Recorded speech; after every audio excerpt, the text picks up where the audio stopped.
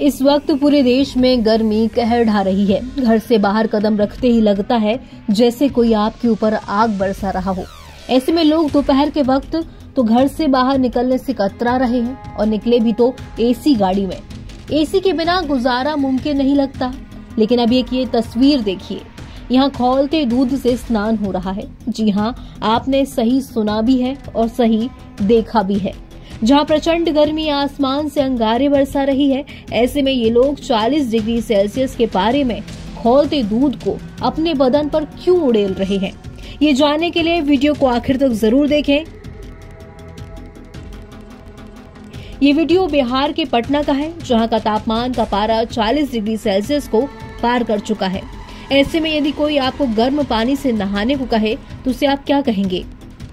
अब जरा ये तस्वीर देखिए। मिट्टी के बर्तनों में दूध को खौलाया जा रहा है। ये दूध 40 डिग्री तापमान में मिट्टी के घड़े में खौलाया जा रहा है। आपको जानकर हैरानी होगी कि ये दूध नहाने के लिए खौलाया जा रहा है। अभी तो और भी हैरानी होने वाली है, क्योंकि अब खोलते हुए दूध से स्नान करती तस्वीर आपके रोंगटे खड़ी करने वाली है। इससे भी ज़्यादा हैरानी तो तब होगी जब आपको पता चलेगा कि यह अनुष्ठान कहाँ हो रहा है। अब इस तस्वीर को देखिए। कैसे ये व्यक्ति खोलते हुए दूध को अपने ऊपर डाल रहा है?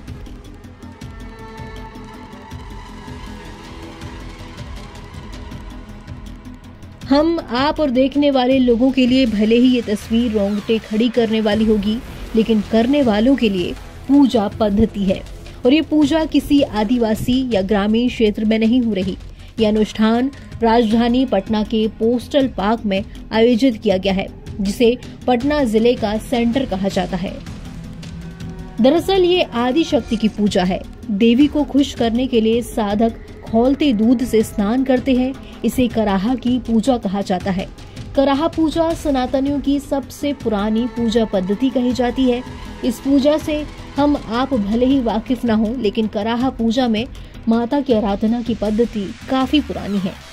इस अनुष्ठान को कराने के लिए माँ कामाख्या मंदिर के राकेश बाबा भी पहुँचे, जिनके सानिध्य में इस पूजा का आयोजन हुआ। इस दौरान बड़ी संख्या में श्रद्धालु भी मौजूद रहे। श्रद्धालुओं ने राकेश बाबा का प्रवचन सुना और पूजा में अघोरियों का गर्म दूध स्नान का अनुष्ठान भी देखा। राकेश बाबा ने बताया कि काफ़ी पुरानी पूजा पद्धति है, जिसमें शक्ति की आराधना की जाती है। धर्म का जो है, ये पूर्वज करते आए। और हम लोग में विलुप्त होता चला जा रहा है। इसीलिए पूजा का विस्तार किया गया है। समाज के लोगों हाँ, समा- बता रहे थे। कैसे लोग करें समाज की सेवा? क्या मूल मंत्र हो? सबसे बड़ी मंत्र हमारा एक ही उद्देश्य है कि जिस घर में बूढ़े बाप माँ बाप सास ससुर की अगर सेवा हो रहा है उस घर में विपद दूर होता रहेगा कष्ट नहीं आता रहेगा। आजकल देश में देखा जाए सनातनों पर काफ़ी हमले हो रहे हैं। सनातनी है उन पर हमले हो रहे हैं। देश भर में क्या जी। क्या संदेश क्या देंगे इस तरह के? जो हमला करने वाले हैं जो ऐसा कर रहे हैं वो ठीक नहीं कर रहे हैं। हर संतान ऐसे कोई भी धर्म हो लेकिन सब एक जैसे रहें भाईचारा मिल के बने रहें।